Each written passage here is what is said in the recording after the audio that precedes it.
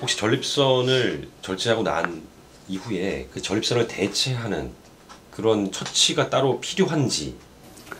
어, 전립선은 정액을 만드는 장기이고 그렇기 때문에 또 그 연세에서는 그게 더 이상 필요하고 필요하다고 생각하지 않기 때문에 어, 전립선 절제술을 대체하려는 시도도 없었고 현재 그 방법도 없습니다. 다만 전립선 수술 후에 지속적으로 요실금이 있는 경우에는 요도 주위로 인공 관략근을 삽입하는 어, 수술을 시행할 수는 있습니다. 수술 후에 1년 이후까지 심각한 요실금이 지속되어 일상생활이 곤란한 경우에는 어, 비뇨기과 배뇨장애 클리닉을 방문하여 어, 바이오 피드백이라든가 또는 인공 관략근 삽입술 등을 등의 치료를 받아볼 수 있겠습니다. 바이오 피드백이 뭐예요?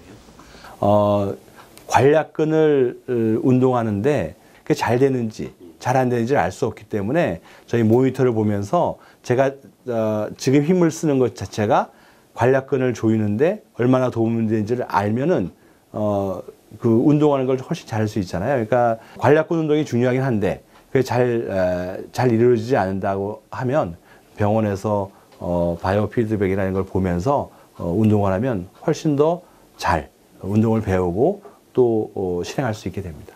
케겔 운동이라는 게 다 중요한데 그걸 어떤 분들은 쉽게 잘할 수 있지만 어떤 분들은 어, 하는 것 같아도 효과적이지 못할 수도 있거든요. 그러니까 그게 말로만 음, 설명이 되는 건 아니어서 실제 어, 이 효과적으로 운동을 하고 계신 건지 아닌지 또 한 번도 어, 안 해봤다면 배우고 어, 배우는데도 도움이 됩니다.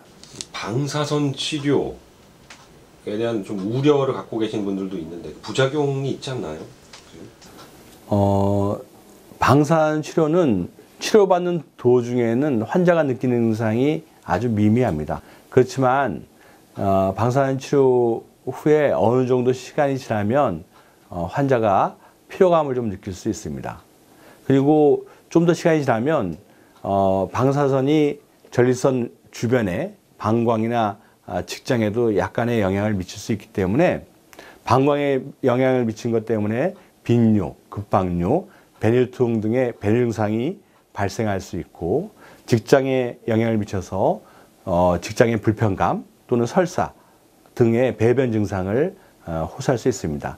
이게 좀 더 심해진다면 직장에서 출혈이 있거나 또는 방광에서 출혈이 있는 혈뇨 등이 발생할 수도 있습니다.